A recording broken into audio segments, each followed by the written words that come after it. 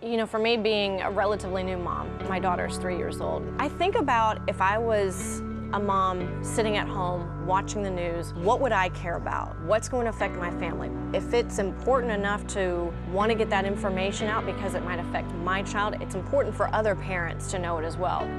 We're not just faces up there on TV. We live in this community as well. That's an important part of why you can count on us.